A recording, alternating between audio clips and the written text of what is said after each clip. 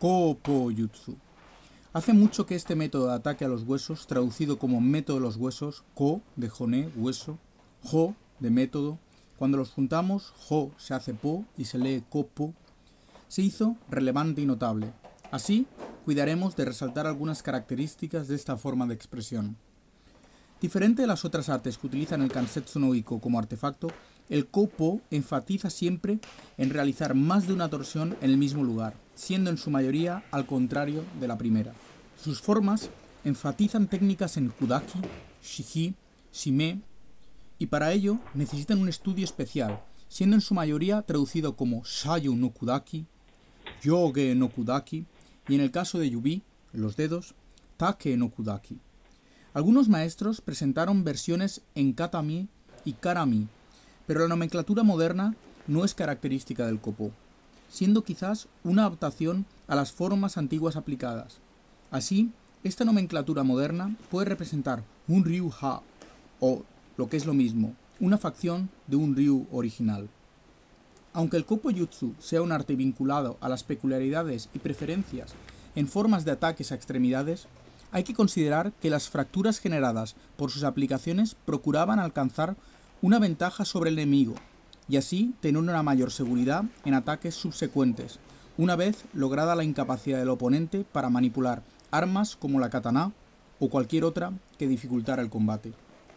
Así, se comprende que en el Kopo Jutsu sus técnicas estuvieran combinadas con otras formas de lucha, ya que en realidad, en la práctica del combate, todas las técnicas que pudieran llevar a la victoria eran utilizadas, por independencia del estudio específico al que pertenecieran. Se comprende, por lo tanto, que a pesar de la existencia de escuelas específicas cuya fama enalteciera una u otra específica arte japonesa de guerra, otras daban prioridad a la formación militar contando con una gama de posibilidades técnicas de acuerdo a que favoreciese ventajas en el momento, inconsiderando factores como forma de vestir, armas, región geográfica, procedencia del oponente, etc. De una forma o de otra, el hecho fue que el Kopo Jutsu se mantuvo como opción primaria de ataque, una vez que se penetrara en el campo del enemigo, y para tal estaba considerada un arte compleja, ya que exigía un Mai, una distancia, corta y arriesgada. En épocas de conflictos, muchas armas pequeñas se camuflaban entre las ropas, además del tantó, el cuchillo, que comúnmente se llevaba a la cintura. Dominar el combate en la corta distancia no era privilegio de muchos. Por el contrario, ya que no siempre todos los soldados o todos los clanes contaban con el beneficio de una tradición militar completa. Aunque antiguamente los conocimientos de anatomía humana no estuvieran al nivel de los que hoy tenemos, en términos de causas, efectos y consecuencias, la experiencia del combate proporcionaba las condiciones para una comprensión de la aplicabilidad del copo. Hoy Gracias a lo que tenemos a nuestra disposición en lo que se refiere a la ciencia, el acceso a la anatomía humana proporciona una ventaja a los estudiosos de este arte. Así, haciendo uso de los detalles, explicaremos aquí algunos fundamentos relacionados con las características de las fracturas estudiadas dentro del Kopo Jutsu. En el caso de las técnicas aplicadas en las manos y dedos, la hilera proximal de huesos del carpo consiste en posición anatómica y de lateral a medial en los huesos escafoides, semilunar, piramidal y pisiforme. En la hilera distal consiste en el trapecio, trapezoide, grande y ganchoso. Los huesos del carpo, en conjunto, poseen una concavidad anterior conocida como surco del carpo. Este se convierte en el túnel del carpo osteofibroso por el retináculo de los flexores, que está fijado al escafoides y al trapecio, lateralmente, y al pisiforme y al ámulo del hueso ganchoso en su parte media. La importancia del túnel del carpo adviene del paso del nervio mediano por su interior. A los huesos del carpo les siguen los metacarpos, cinco largos huesos en miniatura, enumerados a partir de la cara lateral. La cabeza de los metacarpos son sus extremidades distales, donde se articulan con las falanges. El pulgar tiene dos falanges, proximal y distal. Los demás dedos de la mano tienen tres falanges, proximal, media y distal. Las falanges del primer dedo, pulgar, son más cortas, y anchas que las de los otros dedos.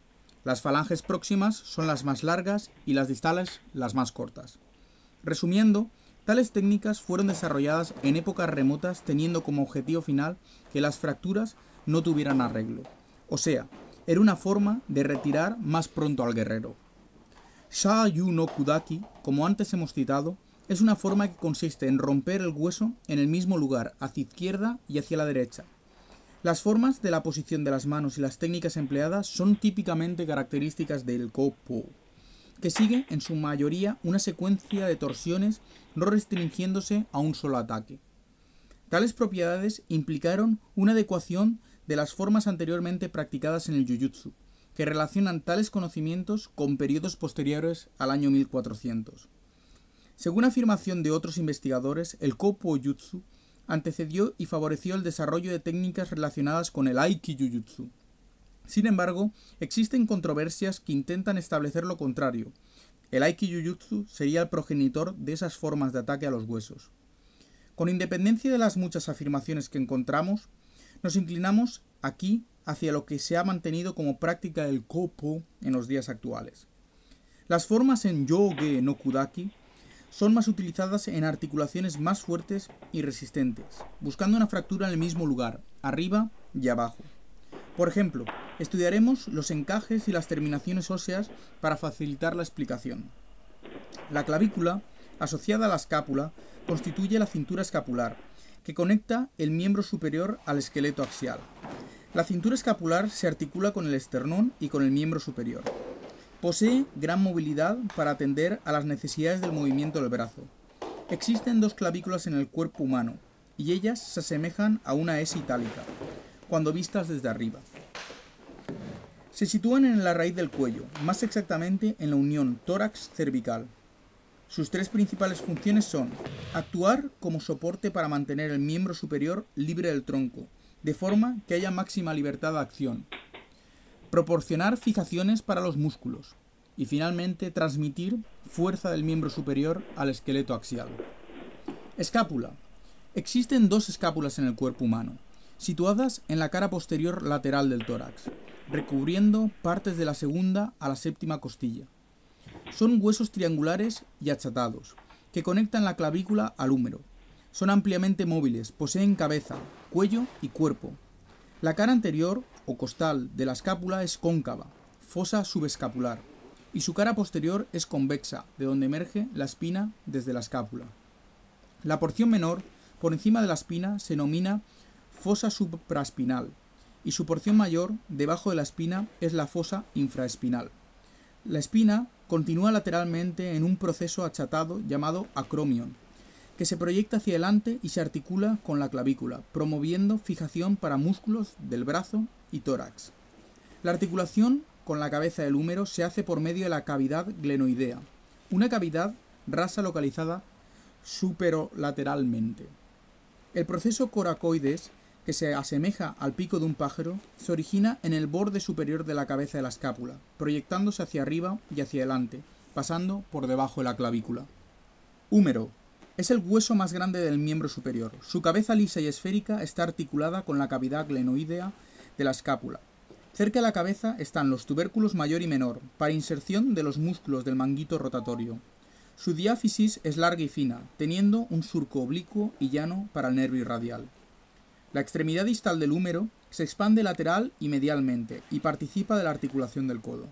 La tróclea, superficie articular medial, se ajusta a la incisura tróclea del cúbito, que gira sobre esa polea cuando el codo se dobla. Inmediatamente próxima a la tróclea están la fosa corónide y la fosa del olecranon, que acomodan partes correspondientes del cúbito. La superficie articular lateral es el capítulo ligeramente convexo. Cúbito, el cúbito es el hueso más largo del antebrazo, articulándose con el húmero en el codo y con el radio y con los huesos del carpo en la muñeca. Con el brazo en posición anatómica, el cúbito se localiza en el medio. El olecranon y el proceso corónides se encajan en la tróclea del húmero, en forma semejante a como una llave inglesa lo hace con un tubo. La extremidad proximal del cúbito es mayor que la extremidad distal, pequeña y redondeada, denominada cabeza. La cara lateral del proceso corónide posee una incisura radial, pequeña y superficial, para la cabeza del radio, en forma de disco. El cuerpo del cúbito es espeso en nivel proximal. Su borde lateral, prominente, borde interóseo, es donde queda fijada la membrana interósea. Radio. Es el más corto de los huesos del antebrazo, localizándose lateralmente con el brazo en posición anatómica. Su nombre proviene de la semejanza con el radio de una rueda, del latín radius. La extremidad proximal del radio posee una cabeza en forma de disco, cuello cilíndrico y liso. El cuerpo del radio aumenta en tamaño de su extremidad proximal a la distal. La cara media del cuerpo posee un nítido borde interóseo, para la fijación de la membrana interósea. Su borde lateral es redondeado. La extremidad distal del radio posee una incisura cubital mediana, donde la cabeza del cúbito se encaja, formando la articulación radiocubital distal. La cara inferior de la extremidad distal del radio es lisa y cóncava, donde se articula con la muñeca y huesos del carpo. Aplastar, como es la traducción del término kudaki, significa destruir internamente ese hueso. En este caso, primero los maestros estudiaban todos los encajes posibles de los huesos y sus conexiones. De esta forma, era más fácil dirigir los ataques. Para romper un hueso en direcciones opuestas era necesario un desarrollo distinto al de las formas practicadas en el Jujutsu, una forma localizada y no expansiva como en los casos de las llaves en palanca. La fuerza dirigida con objeto de destruir únicamente el sitio atacado hasta que éste repercuta en todo el cuerpo. Algunas escuelas más características enseñaban además a fracturar el hueso en forma de astilla, para después poder tirar de ellos hacia afuera la piel, provocando una conmoción psicológica aún mayor. Estas formas aún son estudiadas como carácter histórico en forma de Seite y Gata. Explicaremos esta diferencia. En el Jujutsu, la fuerza expansiva se utiliza a través de métodos de proyecciones y llaves en palancas, como hemos dicho anteriormente. Vamos a ver aquí algunas teorías. Dadme un punto de apoyo y moveré el mundo. Arquímedes, científico griego. La fuerza en palanca, incluso las aplicadas en los conocimientos marciales, puede ser de tres tipos. La palanca es una barra que puede girar en torno de un punto de apoyo. Cuando se utiliza un palo para mover una piedra, un cascanueces para abrir los frutos secos o una pinza de confitería, estás usando una palanca. Las palancas pueden dividirse en tres clases. En las palancas de la primera clase, palancas interfijas, el punto de apoyo está entre el punto de aplicación de la fuerza de acción y el de la fuerza de resistencia. Estas técnicas podrían ejemplificarse como Hisa Kata Uruma, movimientos de caderas como Koshinage y técnicas y piernas en que se utiliza un punto como apoyo de la fuerza, Osoto, Ashi o Toshi. En las de la segunda clase, el punto de aplicación de la fuerza de resistencia, palancas interresistentes, está entre el de la fuerza de acción y el punto de apoyo. Estrangulaciones en el cuello y llaves que estrangulen el codo, de acuerdo con la traducción de Ude Hiji Shime. En las de la tercera clase, palancas interpotentes, la fuerza de acción está aplicada entre las de resistencia y el punto de apoyo, los agarres y técnicas de tirones. En el caso del copó, la fuerza aplicada repercute localmente con el objetivo inmediato de lesión, siempre aprovechando el flujo contrario de la fuerza natural del oponente. Es fácil ver ejemplos de torsiones en el pulgar y después de fracturado, acto seguido, girar la estructura del dedo como un tornillo, complicando la lesión del hueso. Vale destacar que muchas formas aplicadas en el copó también se ejecutan en la parte inferior del cuerpo humano. Aunque mucho del copó no pueda aquí ser tratado, pues este arte se profundiza de acuerdo al nivel técnico del practicante, sus bases pueden ser entendidas y analizadas en sus respectivos aprendizajes. El primer aprendizaje de los estudios del copo corresponden a las torsiones iniciales y tiene relación con los métodos para realizar fracturas en ángulos considerados sencillos o primarios. Ciertamente corresponden al pensamiento enseñado en la graduación de Soden. A partir de esto podemos verificar que los ángulos sufren ligeras alteraciones en lo que se refiere al distanciamiento del cuerpo del torí en relación a Uke. Ese supuesto alejamiento proporciona una mayor extensión en la torsión aplicada, lo que interactúa con tendones y microarticulaciones.